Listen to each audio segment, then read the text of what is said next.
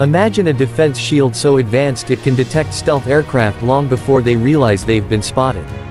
A system designed to track hypersonic missiles blazing across the sky and even threaten satellites orbiting above. For years, the United States has dominated the skies, but now Russia claims it has built something that can challenge that dominance. This isn't just a new missile system. This is a leap into the future of warfare. This is the S-500 Prometei, Russia's bold attempt to rewrite the rules of air and missile defense. The S-500, called Prometei, or Prometheus, is Russia's next-generation air and missile defense system and is often described as the successor to the powerful S-400. But the S-500 is not simply an upgrade, it's a completely new category of interceptor built with a very specific purpose, to defend Russia from the weapons of the future. While traditional air defense systems focus on aircraft and cruise missiles, the S-500 was engineered from the ground up to counter ballistic missiles, hypersonic glide vehicles, stealth jets, and even space-based threats. Its development started years before the world began seriously talking about hypersonic warfare, which shows how far ahead Russia was planning. At the heart of the S-500 is its radar network. Russia claims it can detect targets at ranges up to 800 kilometers, far beyond what existing Western air defense radars can track. This allows it to see highly maneuverable threats, even those designed to slip under radar coverage. The S-500 can simultaneously track multiple objects flying at different speeds, altitudes, and trajectories. Whether a target is flying low like a cruise missile or coming down from the edge of space like a ballistic warhead, the S-500's radar web is built to catch it. The key advantage is its multi-band radar architecture, which combines long-range detection with pinpoint tracking, giving Russia's command centers a complete picture of the battlespace. But detection is only half the story. The S-500's biggest claim is its interceptor missiles. The system uses a range of missile types, including the 77N6 series, which Russia says can hit targets traveling at hypersonic speed. These interceptors are believed to reach speeds close to Mach 9, making them some of the fastest defensive missiles ever built. They are designed to destroy not only incoming missiles but potentially satellites in low Earth orbit. If this capability is accurate, it means the S-500 is not just an air defense system, it is an anti-space weapon. And that is what makes it a strategic game changer.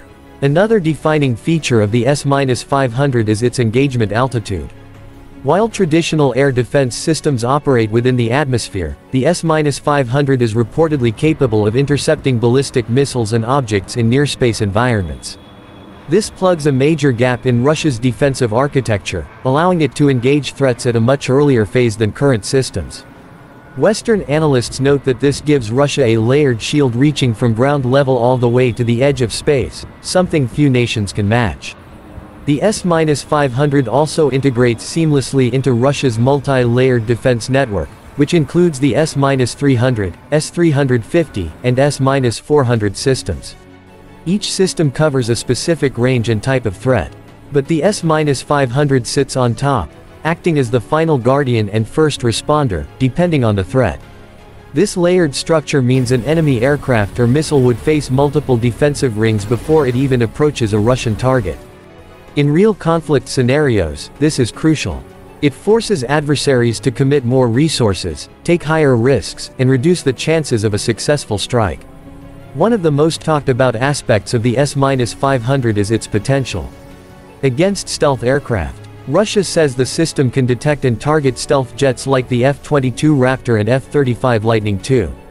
While this claim is debated, the S-500's radar frequencies and long-range detection capabilities make it harder for stealth aircraft to approach unseen.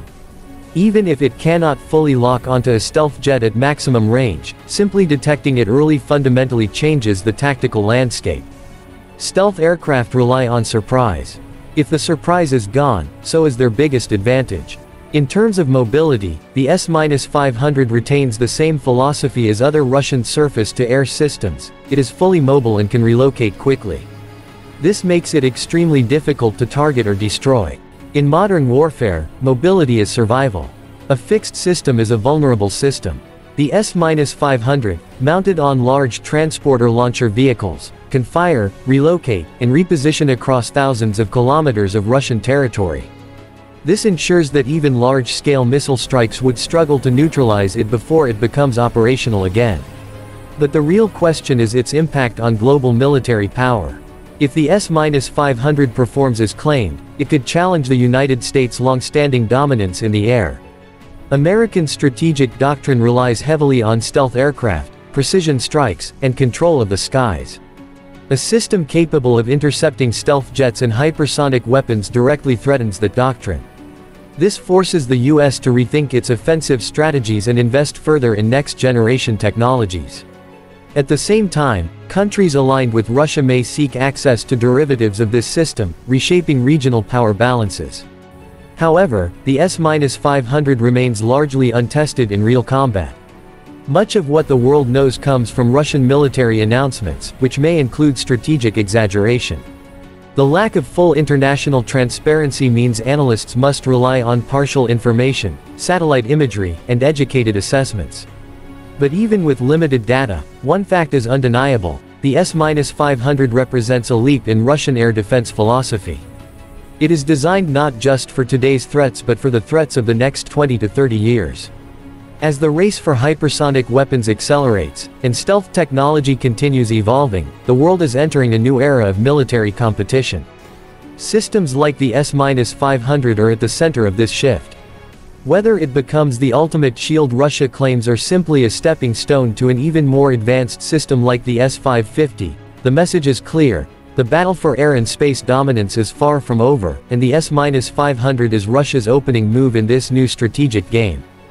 Share your thoughts below and don't forget to like, subscribe, and join us next time as we explore more of the world's most advanced military technologies.